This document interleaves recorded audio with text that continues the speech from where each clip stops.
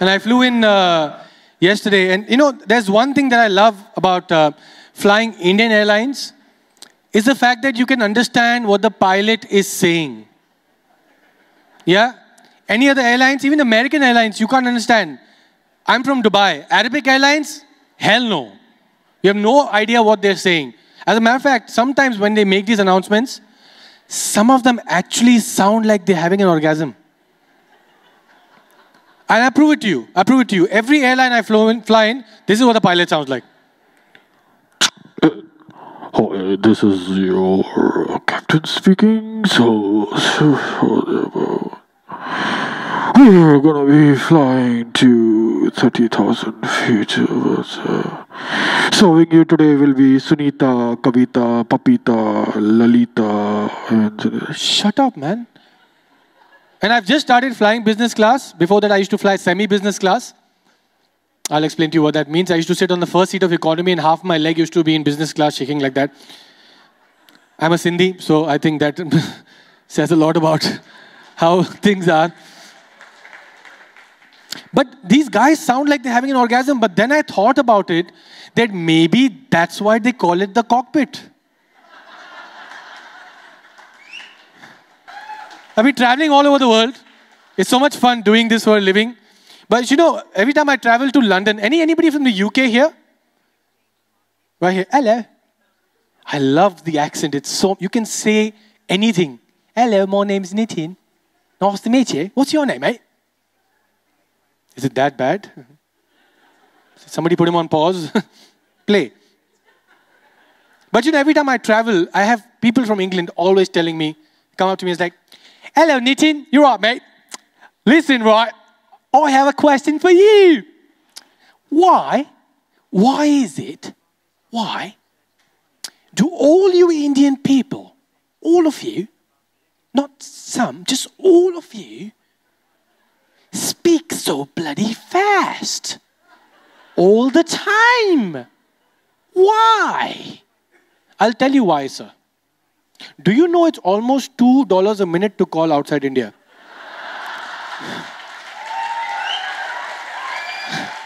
It's expensive. And I love being Indian because Indians, we make everything work for us. For example, sir, in India, if a car stops on the road, it becomes a roundabout.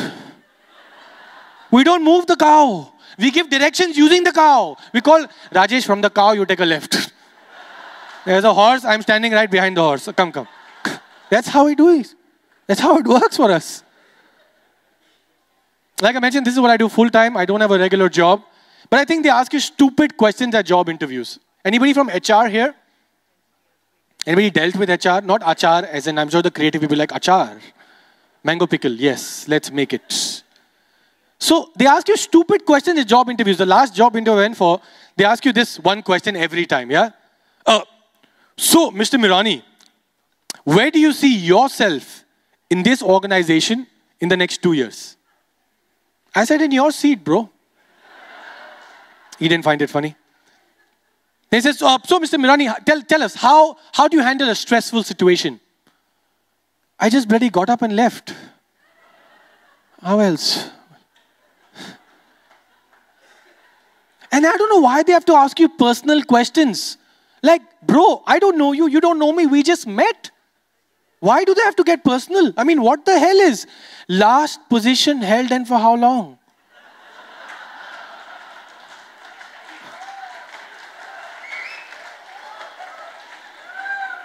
Well, that's between me and my girlfriend. Why should I tell you?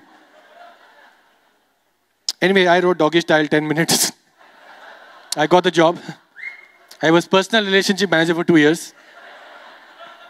Chinese people, these guys can go from really happy to really confused in 1.2 seconds. I love these guys. True story. I was in Hong Kong. I saw these two Chinese people talking to each other, and all I heard was this. And one of them got confused while they were talking to each other. So Chinese guys talking, ha, sao la, sao la, sao du zhi ge, sao de, sao du zhi ge yo, sao ya. One of them got confused. So, sao la yo, so. 爽咯! Pa, pa. Crazy. It's impossible to get a deal from these guys. You walk, how many meals do they eat? You, they eat 78 meals a day. You walk into the store, they're always eating. You walk into China, Hong Kong, or any Chinese store. Excuse me, how much is. Uh, so excuse me, this teacher. You get angry, you're like, excuse me, how much is. And everything is just for you. Okay? Okay, okay. This for you. Okay. This for you. Okay. Just for you, special price. Okay. Only $20 for you, just for you. Okay. Only for you, only for you. Okay. What do Indian people say? I'll give you $2. That's why the Chinese are pissed off. They say 20, we say 2. But they don't let you go. They say, okay, okay, wait, wait. For you, I check with my wife. Okay, okay, you wait. Don't go, okay. Sabla, se hola ya. Sonia ya. Sonia ya ya ya. Sonia ya. So, okay, okay, okay. I check with my wife. Okay, just for you. Okay, just for you. I give you ten dollar. Okay, just for you. Okay. Now, this Chinese person could be standing against a wall. Nothing behind. Are standing in the middle of a desert. There's nobody around them. They will still look back and negotiate with somebody. Every time you say, okay, for you, uh, Kamla, who is Kamla? Who the hell is Kamla and what is she doing in every shop in China? Why does this happen? I don't like this uh, idiot called Enrique Iglesias. Any of you guys like Enrique Iglesias? Ladies? Ladies, you like Enrique? You just went, no! Do you, ladies, I need some honesty. You like Enrique? Yeah? Such a, is, is that a guy? so only time even guys will scream like, woo! But, sir, are, are, you, are you married? Are you together? So you as I'm asking you also. it looks like a hostage situation. I don't know why. She goes, he's like, hold up. I am very happy here. She gives me lots of food. But the thing is, uh, you know, you can. This guy had a mole on his face, Enrique Iglesias, which was the size of an M&M. I've seen that mole sing when he was not singing. But women love this guy. And he sounds the same way in every song. Yeah, I'll show you what Enrique sounds in every song. Yeah, this is him in every song. Check it out. Would you dance? If I ask you to dance, would you laugh? Oh, give him a tissue, yaar. What's wrong with the guy? And I think Enrique was born in slow motion. It probably took him like 73 months just to get out there. I'm serious. You guys have seen an Enrique video, right? Right? I'll show you what Enrique does in every music video, slow motion. DJ, can we have Enrique track? This is him in every music video, yeah? I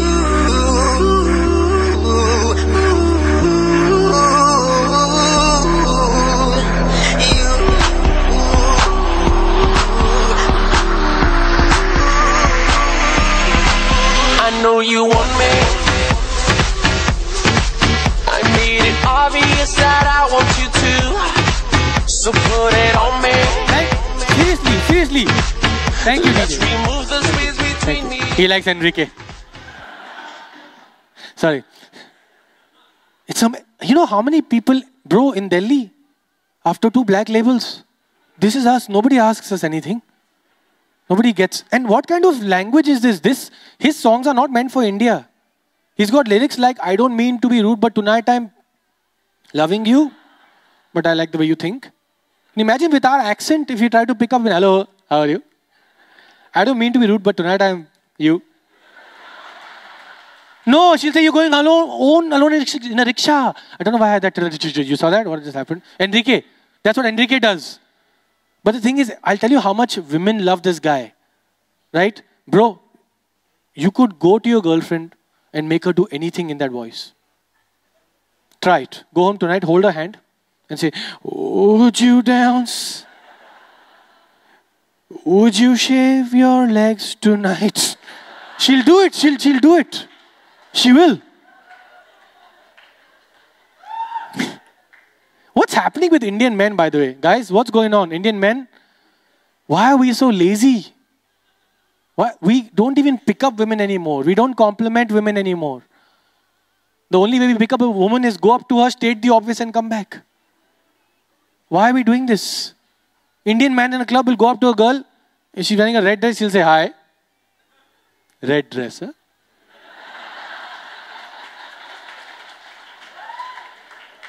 She knows. And why don't Indian people say, I'll be back? I'll just go and come. There's a reason why Terminator will never be made in India. Imagine Arnold going, I'll just go and come. It's not going to work. And women, stop confusing men. Stop it. How the hell can you call up your husband or a boyfriend and say stupid things like, baby, baby, baby, come faster, but please drive slowly, huh? How do we get home? Like a woman will change everything about you from the time she meets you. What you wear, where you go, who you eat with, what you eat with him, what music you listen to. I'm sure you don't want to wear that shirt, sir. And after six months, she'll look at you and say, You have changed, huh? Why do you do this to us? You hang up with your wife saying, What, baby, I can't talk to you. I don't have a headset. I'm driving. I'll talk to you later. She'll send you a BBM message. She'll ping you 95,000 times until you read the BBM message. You know what it reads? I hope you're not using a BBM when you're driving. This is why men are jumping off. I'm, I'm, I'm, I'm in a relationship now. That's the applause I normally get. Thank you. You don't know her. You don't know her. Stop it. You don't know her. My girlfriend calls me and says, I miss you. As a man, what do you say? I miss you too, baby. She says, No, you don't. For a second, we actually think like, oh shit. So we say, no, no, I miss you. She's like, no, no, you don't. Within 10 minutes, she convinces me and herself that I don't miss her. Then she gets, gets angry with me because I don't miss her. Hangs up the phone saying, you asshole, I don't miss you too. What did we miss? And women hear everything the first time. They do. Yeah, married men and relationship, you'll agree with me. You have a fight with your girlfriend or your wife. Men like to have the last word, right? So, yeah, you this, you that. My father told me not to marry you. My mother told me, yeah, your face is like a dog. Okay, you like a hippo. Yeah, usual stuff. And then men do this, right? They turn around because you want the last word, they'll go softly, bitch. now, guys, you can say that in your head. You can whisper it in your head. They will hear it. And a simple Gujarati girl becomes Beyonce. I'm sorry, what did you say?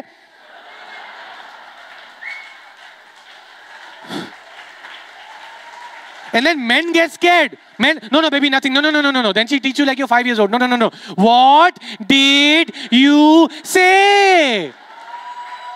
You want to leave the house you're paying rent for and never come back. And after 20 minutes of all this, when she doesn't hear it from you, she says, Oh, so I'm a bitch now, huh? You heard it the first time.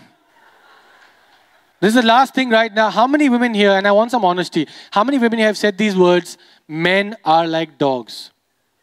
Auntie, not you, put your hand down. Ladies, I want some honesty. How many of you have said these words? Madam, have you, have you said these words? Men are like dogs. Is, is that your husband with you? No? Okay. You can tell us, it's fine. How many? I need some honesty. Come on, please. Sorry, dogs are better than men. Where's yours? Tied up at home? you what we messed up if your name is something Moti Mahal, something like that. Or are you Mrs. Tommy? No, you're not. So, do, do you say these words, men are like dogs? Have you said these words? Such a liar. yeah? Any, any woman here said these words, men are like dogs? Not like, they are dogs. Let's give her a round of applause. Is, eh, madam, is that your husband with you? No, she goes, no, no. But I'm not offering you, I'm asking you. Like, is your husband? No, no, not today, not today. Today, upvas, I can't. But here's what I'm saying, and I'm going to leave you with this. Ladies, women, people from Delhi and their sisters, If you want a happy marriage, a happy relationship, treat men like dogs. Treat us like dogs. The problem is you don't treat us like dogs. Treat us like dogs. When we come back home, let us sit.